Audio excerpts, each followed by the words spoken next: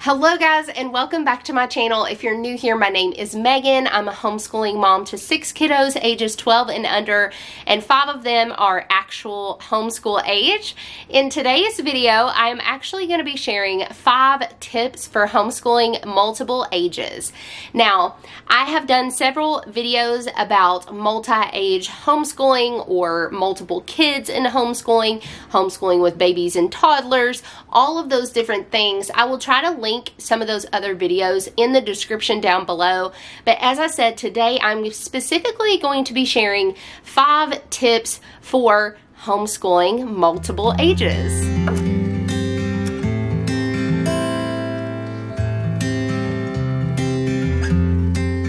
Now, I am going to try to start off simple and then get to probably one of my top things to share with you all. But overall, I hope that this video just encourages you other mamas who are coming here looking for tips and tricks. And also, I would love to hear some of your own tips and tricks. I'm only going to be sharing the five main ones that I came up with when I was kind of pondering it the other day. But there are so many more that you could share. And so many more ways that I could expound upon the five tips that I'm sharing with you today. The first one that I want to share is to choose a set time to homeschool. So that is one of my five tips because that is a tip that I have found super helpful in our own homeschool. So we've been homeschooling for nine years now and I started homeschooling when I had four little ones all under the age of five. I actually started homeschooling because I had taken the year off after having our fourth child from teaching public school and for my own sanity wanted to provide some more structure in our home and so I used a very gentle kindergarten curriculum and stretched it out a year and a half for pre-K into half of kindergarten. So that was my first step into homeschool mom world was with um, four little ones all under five and i found it so helpful to add structure to our day by setting apart time specifically for our homeschool day now this can vary based on families based on your needs. There are lots of things to consider when setting aside time. Um, some schedules are very irregular because you may have some kiddos who might need to go to a therapy or to tutoring or something like that or maybe you're part of a co-op or there's any variation of things that could change that but it, you're still able to at least set some sort of routine and time of day that your family sets apart specifically for the purpose of homeschooling.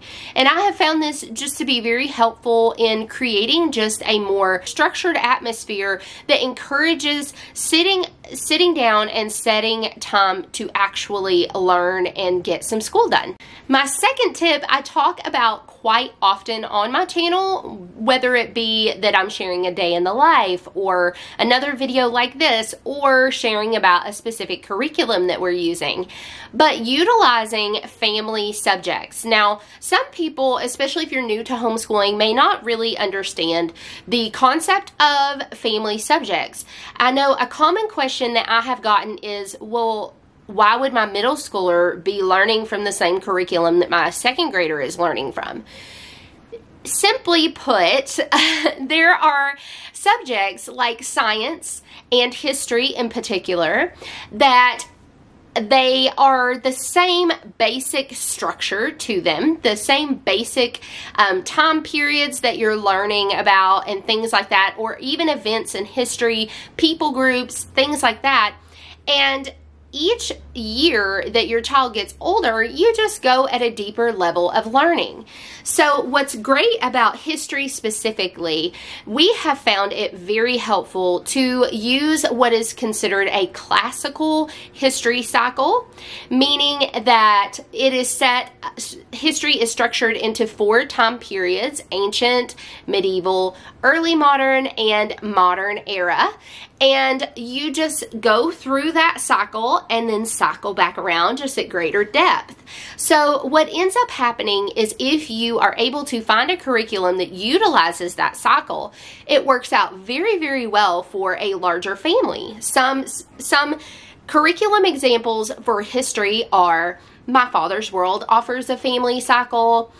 Story of the World offers a cycle to their history. Also, Biblioplan, which is what we choose to utilize in our family, and I've got lots of videos on Biblioplan. Mystery of History is another one, and there are some other ones as well, but those are some different histories that you can utilize from the time that they are in young elementary all the way through middle school and sometimes even high school. And so I have found that really, really helpful to utilize those family subjects. As far as science goes, an example would be Apologia.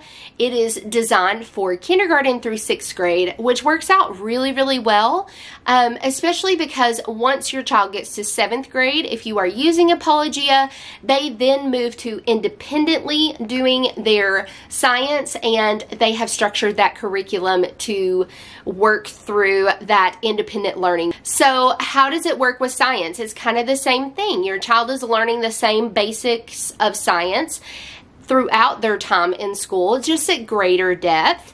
And the way that Apologia is designed, if you are not familiar with their curriculum, with their um, science curriculum, you will notice if you ever get the chance to look at it, it is a lot of information. And some of it you think, how in the world is this pertinent to a second grader? Um, but it is because they are going to glean what they can from that subject on their level. And it's more about the exposure at a younger elementary level to those subjects, and then they learn it at greater depth when they go back through a little bit older.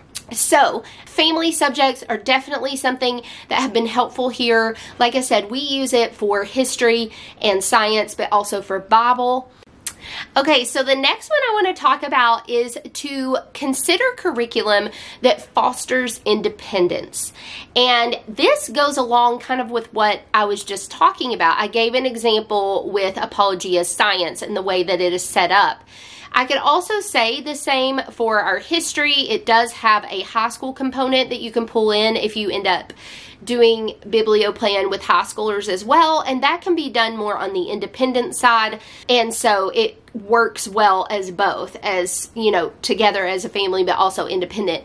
But what I mean more specifically is if you are trying to homeschool a lot of kids, especially at one time, you may find it very difficult to divide your time and to have a school day that isn't going to last literally all day long. So, if you are choosing like a math curriculum that is very teacher intensive to teach, and a reading curriculum that is very intensive to teach.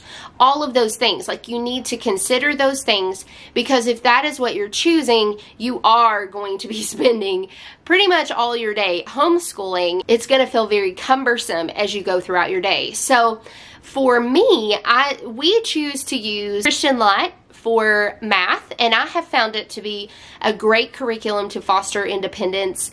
Uh, the way that the student pages are made up as they get older, it has more and more information in their student pages so that they can independently read through it, and I'm just there to facilitate or answer questions that they may have or help them with greater understanding if they're not really getting it by reading it themselves.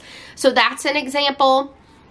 I know a lot of people utilize teaching textbooks. That's another great one if you are wanting to foster independence. Now, obviously, this is this also has come in very helpful for me because I do have a child who has dyslexia and requires more hands-on teaching time from me, especially for reading instruction. And so it has been very helpful for me to foster that independence in some of my other kids who can be a little more independent with other subjects so that I can devote a little more time to instruction with my son who needs that. So that's really important to think about as well. My fourth tip to think about is having a plan to either entertain or redirect little ones. So as I stated, I have a three-year-old and he is a very, very busy three-year-old. Last year, I had a preschooler and a toddler running around. And then before that, I had a toddler and a baby running around. So I have, I definitely understand those kinds of scenarios. Um, and having some sort of plan in place is really helpful. Obviously, we cannot plan for everything, especially when it does come to our little ones because they can be very surprising sometimes. But having things like some busy bins on hand, which I actually did a video on that a while back, and I will link that down below in the description if you're interested in that. But something like that can be very helpful. Also, just having that understanding in place that you are going to have interruptions. And it's not always just with your little ones. Sometimes it's with your kiddos that are school age as well.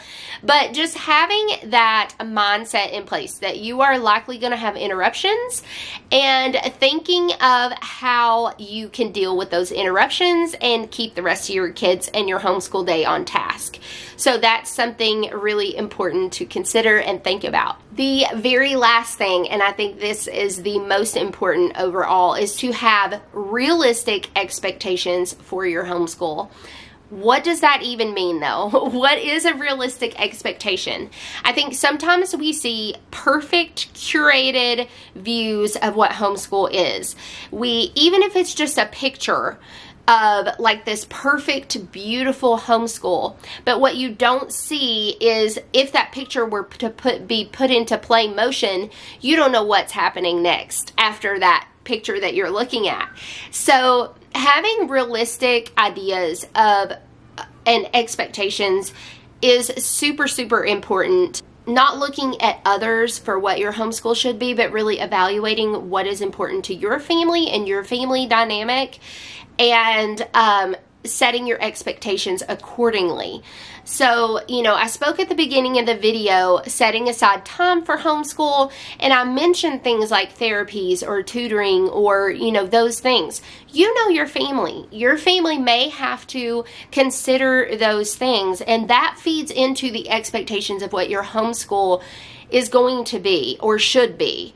Um, so to have a viewpoint of, you know, going and having this full, um, beautiful homeschool day, but then you forgot, oh yeah, we have tutoring today at one o'clock, and that's going to be right in the middle of this wonderful grand idea I was going to try to execute today in our homeschool.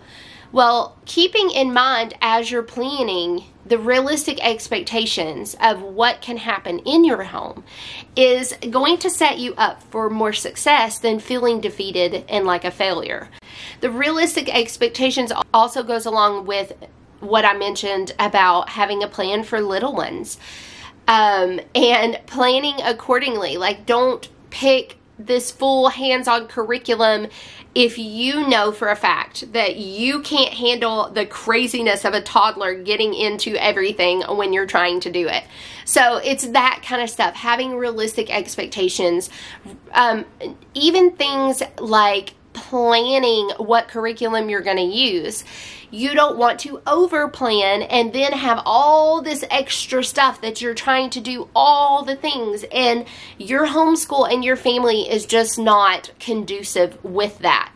So having those realistic expectations, stepping back and really evaluating your heart where is your heart in the situation? Is it trying to keep up with what you are seeing in others' homeschool?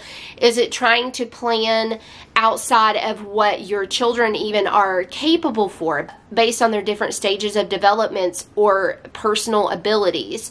And so that is probably my number one tip, but I left it here for the end. Now, ultimately, overall, as mamas, we have this amazing opportunity to homeschool our kids. And I know for me, it's not only an opportunity to just school my kids, it's an opportunity to disciple my children and to really try to cultivate their hearts in order to love and follow the Lord. And, you know, I mentioned my top tip you know, practical tip being that. But I guess really, um, what goes along with those expectations is where our heart is. Because if we're not evaluating our own hearts and what the heart behind our homeschool and our home is, and realizing if there's something that we need to address in our own hearts before deciding on what those expectations are it's just really important. I hope that you guys found encouragement in this video. And as I said in the beginning, I would love if you would share any of your tips down below. If you want to expound on some of the tips that I have shared. Obviously, I did mention a few different options for like homeschool curriculum and stuff. Those are just some things that came to mind as I was sharing examples. Those are not do this or else kind of things.